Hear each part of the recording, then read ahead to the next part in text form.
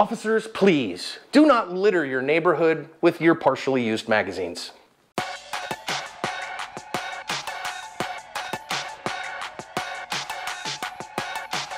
Hi everyone, welcome to today's bonus badge cam lesson here at Active Self Protection. I'm your host, John Correia. With me as always, the host of the ASP Podcast, Mike Williver. And today's video comes to us from the eternal wellspring of videos, Houston, Texas. Mm-hmm.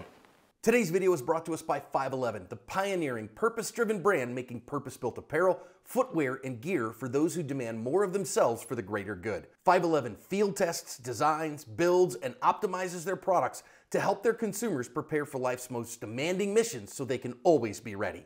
I love the Defender Flex jeans. Like all their pants and shorts, they are purpose built for comfort and give you the ability to discreetly carry all your tools with extra hidden pockets, including secondary hip pockets that are perfectly sized for your concealment needs. Visit your local 511 store today or click the link below to go to 511tactical.com for all your concealed carry clothing and gear needs. Save 20% from May 10th to 16th in store and online as 511 celebrates everyday heroes for 511 days. The Houston PD described the call as a threat to life, which is very generic. But this guy has taken these officers on a significant chase. They did find him, try to pull him over. He chased for quite a while. It gets crazy here in just a second. You can see here on the badge cam or on the dash cam already that the car right in front has wrecked up and it's about to get real.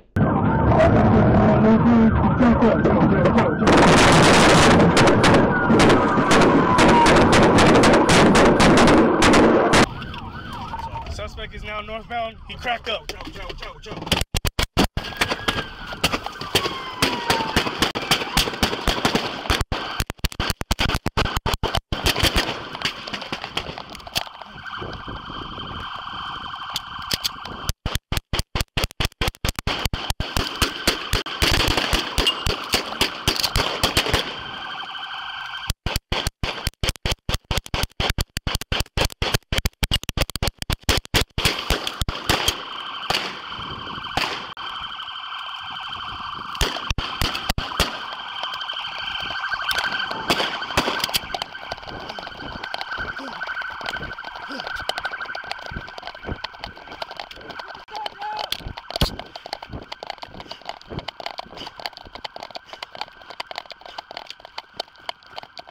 car, get on the other side of the car.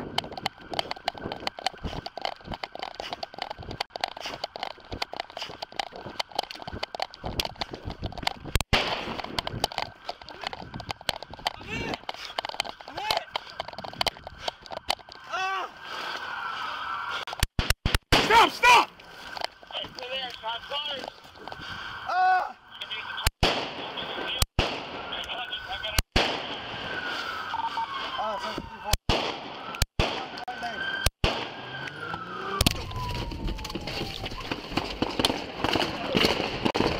Fire!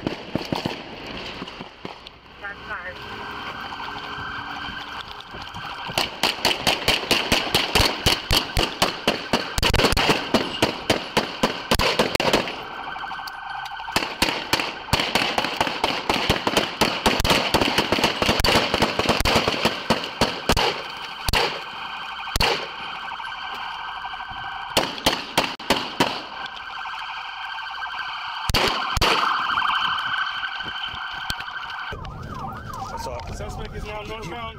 Watch out, watch out, watch out, watch out, watch out. Shots fired! Shots fired! Send EMS. I, I got hit.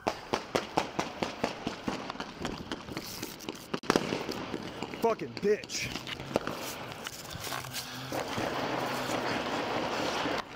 Hey, come here. Come here. Hurry. Tighten that tight. Tight, tight, tight. No. Wrap it around. Wrap it around. Stop.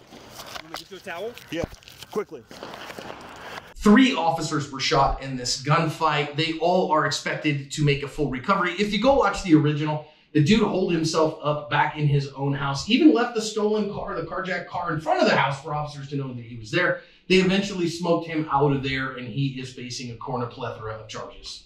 Hey, if you haven't checked out the Asp podcast lately, why not? It is incredible. We're top 1.5% of podcasts worldwide now. We are. Uh, I tell you, I'm having a lot of fun doing it. We're, we're changing lives, John. I'm having people on the podcast talk about how their incident, how the podcast, listening to it, has helped them get through their incident, through the aftermath, which is crazy.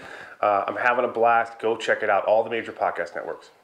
Mike, as we start with the badge cam here that's coming in, the first thing I really do want to talk about is how ridiculously disorienting it can be to, to take fully automatic fire, and yet our officer gets his gun up and in the fight. Props to him for that. If you've been around someone shooting full automatic fire, for the first time you hear it, or first couple times you hear it, it's like, what is that? But that doesn't sound like anything else. It's very distinctive.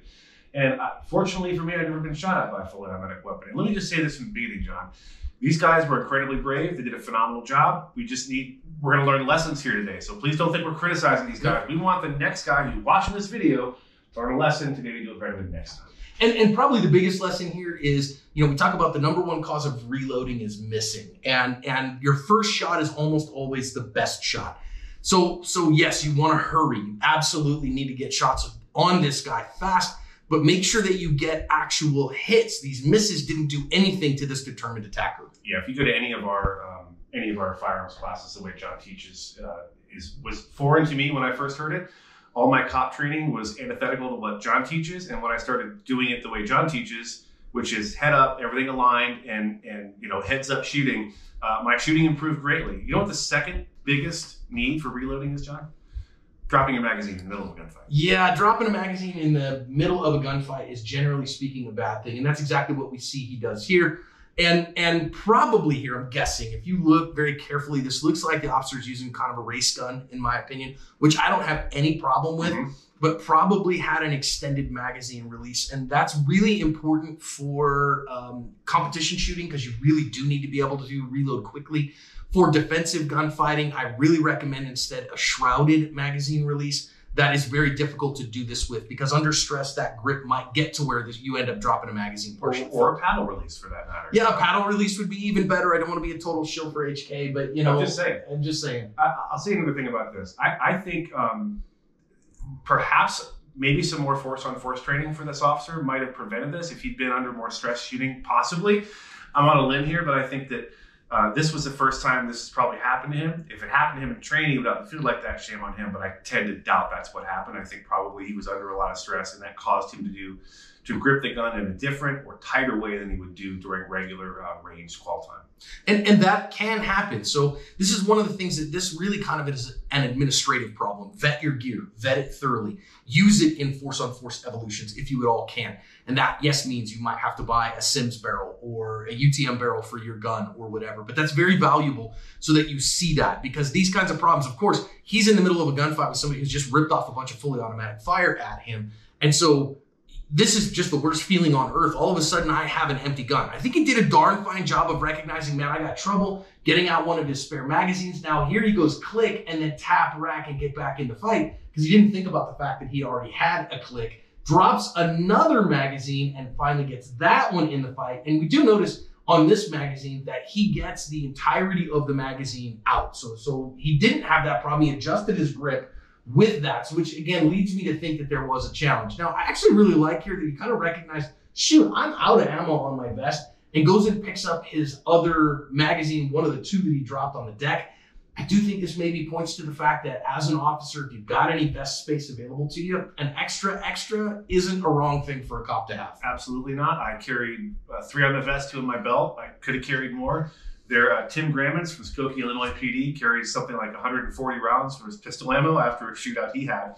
Uh, he heard on the podcast, by the way.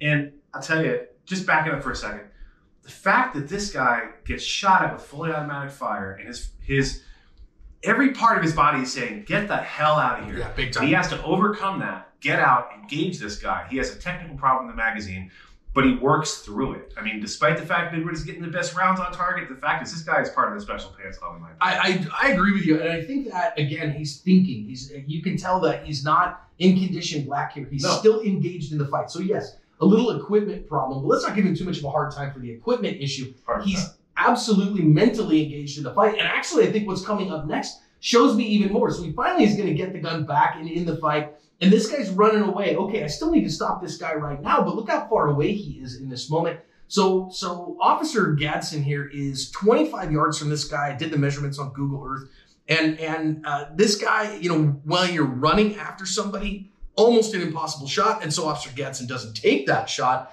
which tells me he's thinking. Now, I do think again, with a red dot on his pistol like he has, this is the custom time to stand tall and make a good shot and absolutely shoot this guy in the back. But taking it while running, I'm so glad he didn't. It's a it's a tough shot, dude. I know feds that, that make 50% of their shots from 25 yard line on a calm range who Right. aren't amped up, who aren't ready to have been shot at. So, and you know who you are. And I got to tell you, stopping, taking a moment to, to get yourself in position to get a good stable shooting platform is is the move at this point.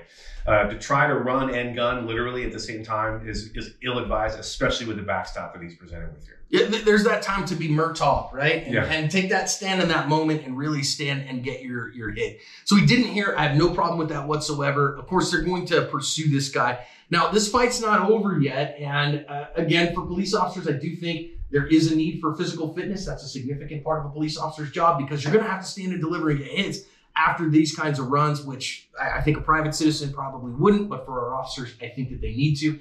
Gonna come across the the officer here in just a second. You know, as he's coming across a carjacking, guy keeps shooting at him, so he goes and finds some more cover. Okay, I think this is still good stuff. I also want to say this officer that we see here is injured. He is shot, and yet his gun is up and in the fight. And that right there is a significant amount of emotional fitness to be able to say, "Oh, wait a minute, I'm shot bad enough that I'm down." And yet, this guy's in the fight and endangering the public, and I am going to get shots back on him. That to me is an absolute charter member of the Special Pants Brigade. We have two. We've never had two members of the Special Pants Brigade in the same frame, but we do today. We absolutely do. I gotta tell you, man, this guy is my new hero. The fact that he's injured like he is and still staying in the fight, still engaged, he has decent cover. I've talked before in this space about sometimes the only cover you have doesn't apply here necessarily. The only cover you have is a curbstone or, or a parking block or whatever. He's getting himself low. He's getting himself as small as he can. He's using the car. He's doing a great job here of staying in the fight and engaging that guy. And I commend him. and a good reminder to practice some single-handed shooting from odd positions because this is very odd position he's got to shoot from and he's got to do it single-handedly at significant distance that's as hard a problem as exists and and i think he handled that pretty darn well in that particular case now again officer gadsden here has a 30-yard shot. I know it looks a little bit closer than that but when you actually measure it out about a 30 yard shot on a guy who is carjacking with he's the, the last rounds he has are the rounds that are in his gun. You've got to make these count. And and this is where having that no fail mentality that says i know i have the skills that if grip is the master sight set the pace trigger is the servant i can get a hit here and i must get a hit here and that's going to be a difficult and tall order if the first time you've done that is in an actual gunfight And especially, let's not forget, there's a there's a civilian, a normal human in the backstop as Yeah. well. So that even that complicates this problem uh, significantly. But this guy, as we've already seen, is a problem solver. So he's doing his best here. I'm going to cut him some slack. I'm, I'm actually going to try to give him a hard time because he's just been shot at. His partner here is shot. There's a lot going on. His adrenaline's pumping. His blood's pumping. And this is a this is a tricky shot to make with a pistol at 30 yards without all those other factors Yeah. especially when there's another person in the frame uh, being carjacked at this very moment. So you can see he's being very deliberate here. This is not emotional, crazy shooting. Yeah, He's this is it. deliberate Yeah. shooting, and that's what you want to do in this particular case. And we don't know which round hit the guy. Guy was shot one time. Let's think about the second officer here who comes back. Actually, like that he uses his vehicle to kind of you know uh, uh, get his firearm out, and then though I really like that he aggresses here. He comes in. Very different, obviously, between a, a private citizen gunfight here and a law enforcement gunfight, but that you as an officer have to have the courage to move forward towards somebody who is shooting at you. As a private citizen, quite frankly, you don't need that courage. You can get the heck out of there. But as an officer, you got to have the courage that says, no, I'm going to go towards this.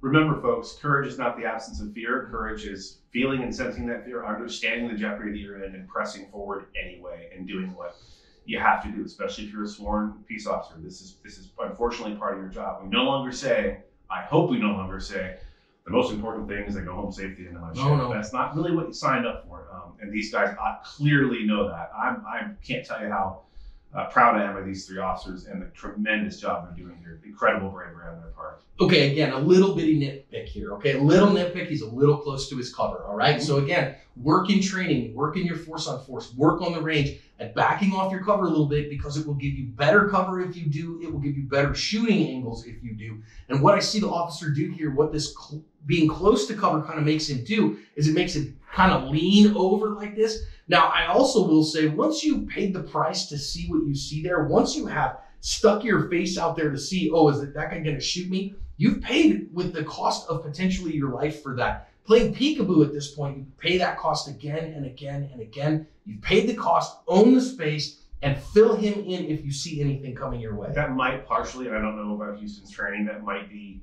a training scar, and that's kind of a trite term, but you know, it might be that they're teaching uh, from you know 25 yards of pistols. Frequently, uh, agencies will have you stand behind a cover, a plank, basically, to act as a corner of a building, corner of a wall, Right. and and they will teach you to pop out from behind it repeatedly, and then get behind cover, come out from cover. I hope we're moving away from that. Like John said, this is this is kind of a new concept. Once you once you own that space, own it. If you're out that far, you're already out that far. Uh, going back behind the car only gives the bad guy an opportunity to advance a little bit. So uh, again, a nitpick. I think he did the best he could under the circumstances. Yeah, and, and again, uh, not to say anything bad about him at all. Also, here now, this guy is going to start running. Once again, your first shot is your best shot because this officer is going to end up trying to take shots at this guy while he's running off. So we got a quartering shot away at about 30 yards. And that is, especially because this officer has an iron sighted pistol. I- I mean, it, it would take an incredible feat of marksmanship in order to hit this. I don't know too many that are not, you know, at a master or grandmaster level of shooting who could make that shot. And and you, when you got to make it, make it. But remember that first shot is going to be a better shot and an easier shot. So make the first one, take the extra tenth or two tenths to get that hit. it's not it's easier said than done and it's one of those things that you can you, you practice it at the range the best you can you practice it in force on force but there's nothing like real life there's nothing like knowing your life is in, in a very immediate, je- immediate jeopardy because the person you're facing off against has or at least had and had demonstrated his willingness to use a fully automatic weapon against uniformed police officers Yeah. And now this last officer, I, I got to tell you, when I first watched this one, Mike, as he bails out of the car and then runs off, my first thought was, dude, what is going on with you? right right Because of course I didn't realize that he had been shot. Uh, recognizing that he's out of the fight because he's shot. Okay, there's plenty of other officers that are in the fight. I need to get a tourniquet on right now. Um, and and again, when you're on the radio, make sure you're saying something that is reasonable, that, that what you need right now. And also here, okay, so he has a, a great tourniquet on him. He has a cat with him right there, that combat application tourniquet. You can see the first drops of blood. You've already watched through it. You know he is bleeding badly. That is arterial bleeding that he's got right now. And and practice applying that cat yourself to your own arm. It is it's not overly difficult, but you got to have enough courage to wrap that sucker as tight as you could possibly imagine. And and in practice, it should be so tight that you're you know you start seeing stars. That's how much it's, it hurts. And I'm going to scratch this broken record even more. It's critical. It is imperative as a law enforcement officer, as a self defender, to have some kind of medical gear on your person. If that had been in his trunk, he very well may have bled out in that parking lot. Yeah. And that would have been a, a tragedy. So Have it staged on your person and staged correctly, please. If you've done this, officers, hear me right now. Go look at your windlass strap on your tourniquet. And if you have a combat application tourniquet, you want that windlass strap open. So then that way you don't have to futz with it while you've just put a tourniquet on yourself. Have it open already. And this is something you can practice. Uh, practice it until you can't get it wrong. Buy a practice under stress is not the time to be figuring it out. I don't think that's the case here. I, he obviously knew need to get it tighter, Yeah. so this guy was able to help him. Thank God. Kudos to this guy, by the way, in the yellow shirt. Yeah, and, and kudos to this private citizen. Sees an officer bleeding, steps in to help. Officer says, "Here, make that tight, tight, tight." And and I really think again, every private citizen should know how to use a tourniquet, know how to use a first aid kit, and not just to help an officer like this, but it sure would come in handy. One hundred percent. Listen, I I don't know how often Houston PD sees these videos. I would absolutely love to have one or all three or all four, including the private citizen. That you guys reach out to me, Mike at activeselfprotection.com. I think it would make an excellent episode, and we've learned a lot from your actions here today. These guys were incredibly brave, John. I mean, above and beyond the call of duty. I think there's a lot of cops that would have probably peed their pants and run away. They, however, covered their ass.